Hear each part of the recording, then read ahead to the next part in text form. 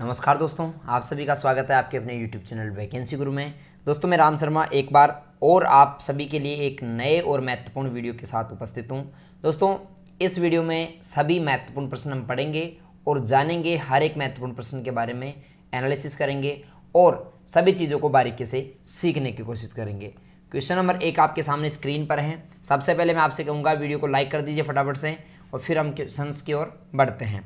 Question number एक है M S outlook 2010 का मुख्य उपयोग क्या है? यानी कि माइक्रोसॉफ्ट आउटलुक क्या काम में आता है? आउटलुक का मुख्य उपयोग क्या है दोस्तों? एम एस आउटलुक का जो मुख्य उपयोग होता है, वो ईमेल एप्लीकेशन के रूप में होता है।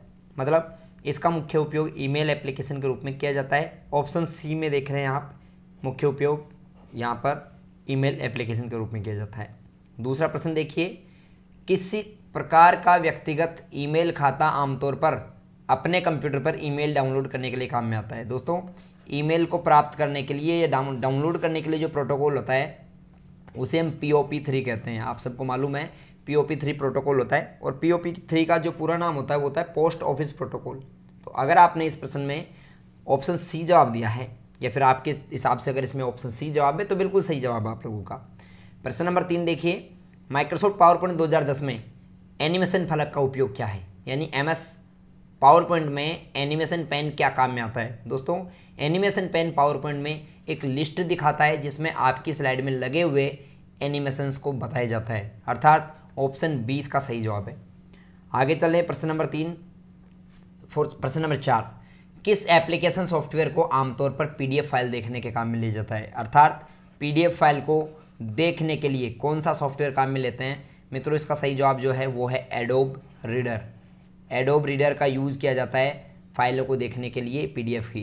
तो इसका सही जवाब ऑप्शन सी रहेगा। मेरा प्रश्न आपसे एक है, आपको कमेंट करके बताना है कि पीडीएफ का पूरा नाम क्या होता है। कमेंट करके ज़रूर बताएँ। प्रश्न नंबर पाँच।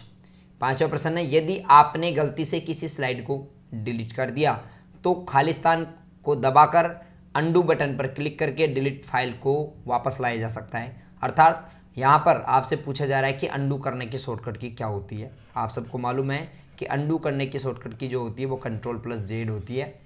यानी कि ऑप्शन यहाँ पर सी सही जवाब है छठा प्रश्न देखिए। Khalistan M S Excel 2010 tool है जो किसी अज्ञात मान की गणना करने के उद्देश्य से पिछड़ा काम करता है। अर्थात आपके कंप्यूटर में एम एस एक्सल के अंदर अगर आपको किसी भी अज्ञात वैल्यू का पता लगाना है तो आप कौन से फ़ंक्शन का यूज़ करते हैं? दोस्तों, अगर किसी अज्ञात वैल्यू का पता लगाना है या फिर पूर्वानुमान लगाना है तो आप मे, आप यहाँ पर गोल सीख का इस्तेमाल करेंगे, ठीक है? इसका सही जवाब रहेगा गोल सीख अगर आप गोल सीख करते हैं तो आप किसी भी अज्ञात वैल्यू का पता कर सकते हैं। ऑप्शन नंबर सी, इसका सही जवाब है।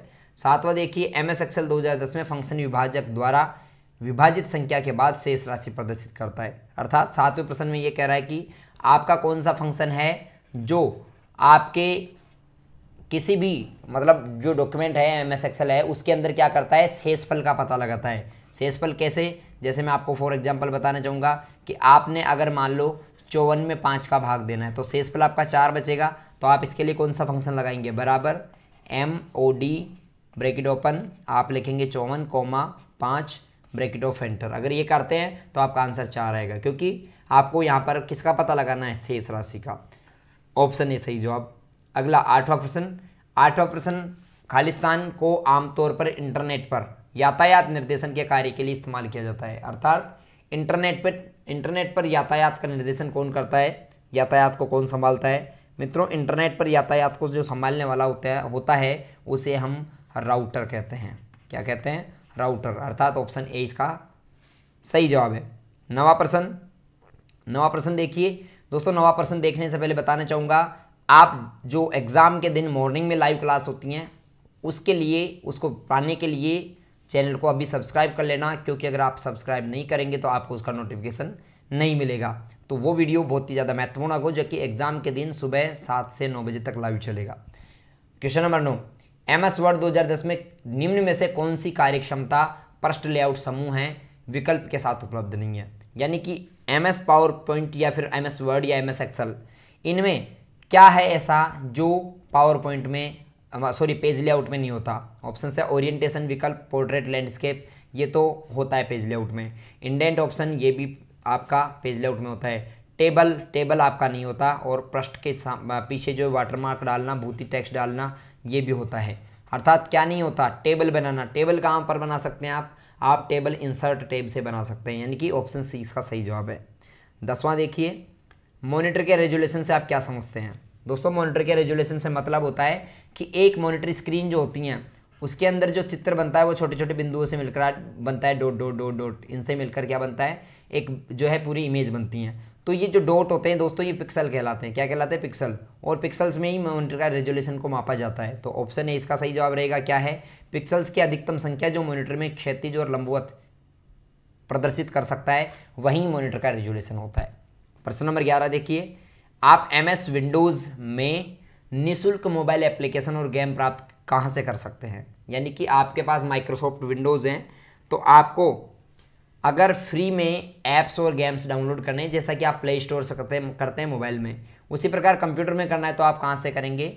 आप विंडोज़ स्टोर से करेंगे। याद रखना, विंडोज़ स्टोर। ठीक है? ये इसका सही जवाब रहेगा ऑप्शन ए। अगला प्रश्न देखिए बारहवा बारहवा प्रश्न आपके सामने वीजीए कार्ड क्या होता है? एक एटीएम कार्ड है ग्राफिक ग्राफिक एडेप्टर कार्ड है डेबिट कार्ड है या फिर निमंत्रण का कार्ड है?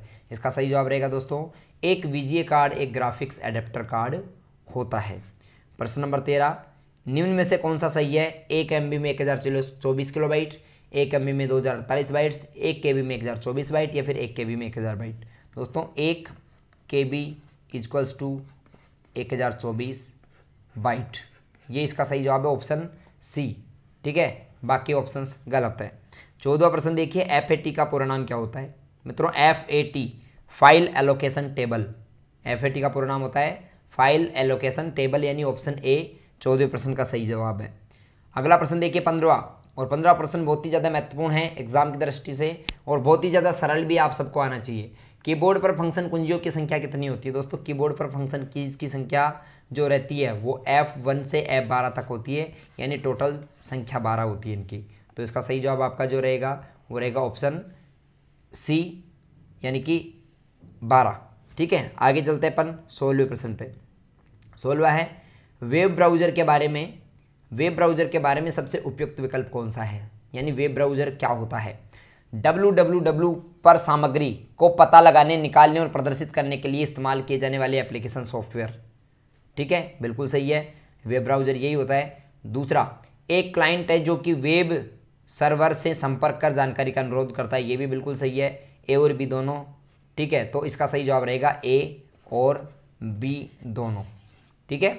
आगे चलते हैं यूट्यूब क्या है? मित्रों यूट्यूब एक वीडियो साझाकरण और वीडियो खोज वेबसाइट है, जो उपयोगकर्ता को वीडियो अपलोड करने, देखने और साझा करने की अनुमति देता है। बिल्कुल सही है। ऑप्शन ए यूट्यूब का सही जवाब।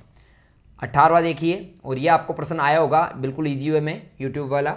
अठारहवा देखिए वेब पेज देखने के लिए उपयोगकर्ता को वेबसाइट पता दर्ज करना होता है, जिसे हम कहते हैं। मतलब अगर आप वेबसाइट देखना चाहते हो, और उस वेबसाइट का आप जहाँ पर एड्रेस डालते हैं, ठीक है यूआरएल तो ये जहाँ पर हम एड्रेस डालते हैं एड्रेस बार होता है तो एड्रेस बार में जो एड्रेस होता है, उसे हम क्या कहते हैं यूआरएल कहते हैं। यूआरएल का पूरा नाम होता है uniform resource locator uniform resource locator और यूआरएल किसी वेबसाइट का एड्रेस होता है। उन्नीसवा देखिए, आप जीमेल में ईमेल संदेश कैसे लिखते हैं? दोस्तों, अगर आपको जीमेल में नया ईमेल संदेश लिखना है तो आप कंपोज ईमेल पे क्लिक करेंगे तो ऑप्शन बी इसमें सही जवाब रहेगा कंपोज पर क्लिक करके। बीसवा प्रश्न देखिए एम एस एक्सएल दो हज़ार दस में टेक्स्ट स्ट्रिंग के शुरू से अंत के रिक्त स्थान और डुप्लीकेट स्थान को हटाने के लिए कौन सा फ़ंक्शन काम में लेते हैं? दोस्तों, अगर आपको अनवांटेड अनवांटेड स्पेस हटाना है, खाली स्थान हटाना है तो आप ट्रिम फ़ंक्शन का इस्तेमाल करेंगे, याद रखना ट्रिम तो ऑप्शन डी इसका सही जवाब रहेगा ट्रिम से हम क्या कर सकते हैं? अनवांटेड मैसेज अपना जो स्पेस होता है उसको हटा सकते हैं। इक्कीसवा प्रश्न, निम्न में से कौन सा फ़ंक्शन एम एस एक्सएल दो हज़ार दस में टेक्स्ट स्ट्रिंग की लंबाई को नापता है? दोस्तों टेक्स्ट की लंबाई को नापने के लिए जो फ़ंक्शन होता है उसको लेन फ़ंक्शन कहते हैं और इसका पूरा नाम होता है लेंथ लेंथ का मीन होता है लंबाई। बाईसवा प्रश्न क्या है? एक खालिस्तान कुंजी में एक या एक से अधिक फ़ील्ड होती हैं जो एम एस एक्सेस में प्रत्येक रिकॉर्ड को विशिष्ट रूप से तालिका के रूप में पहचानती हैं। मतलब कौन सा एक ऐसा फ़ील्ड है जो एम एस एक्सेज में प्रत्येक रिकॉर्ड को विशिष्ट रूप से तालिका के रूप में पहचान करता है? टेक्स्ट फ़ील्ड सेकेंडरी या प्राइमरी और इसका सही जवाब है दोस्तों ऑप्शन बी फ़ील्ड ठीक है? तेईसवा प्रश्न देखिए। इनमें से पेन ड्राइव की विशेषता नहीं है। पेन ड्राइव क्या, कौन सी विशेषता नहीं है? यह एक ऑप्टिकल ड्राइव का उदाहरण है। दूसरा, यह यूएसबी पोर्ट के माध्यम से जुड़ता है। यह पोर्टेबल डिवाइस है। और इसे डिस्कनेक्ट करना बहुत आसान है तथा सुरक्षित रूप से कहीं पर भी ले जा सकता है। इसका जो सही जवाब है दोस्तों, वो रहेगा ऑप्शन ए क्योंकि ऑप्शन ए ऑप्टिकल डिस्क के बारे में बता रहा है और पेन ड्राइव ऑप्टिकल डिस्क नहीं होती है। ऑप्टिकल डिस्क तो सी डी आदि होती हैं। तो यूएसबी के बारे में क्या क्या सच्चाई है कि यह एक तो यूएसबी पोर्ट के माध्यम से जुड़ता है, बिल्कुल सही। यह पोर्टेबल होता है, यानी हटाया जा सकता है, लगाया जा सकता है, कहीं पे भी ले जाया जा सकता है, बिल्कुल सही। और इसे डिस्कनेक्ट करना और लगाना बहुत आसान होता है, ये भी सही है। तो बाकी इसका सही जवाब ऑप्शन ए रहेगा। नेक्स्ट प्रश्न देखिए चौबीसवां।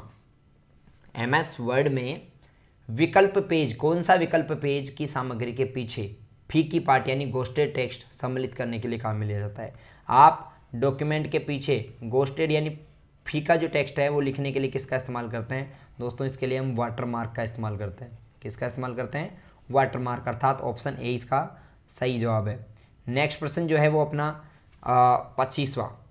फ्लो चार्ट योजना बनाने का एक उपकरण है, आमतौर पर निम्न का प्रतिनिधित्व करने के लिए इस्तेमाल किया जाता है। दोस्तों फ्लो चार्ट का कहीं पे भी क्वेश्चन आ जाए तो आपको याद रखना फ्लो चार्ट एल्गोरिथम का इस्तेमाल करता है।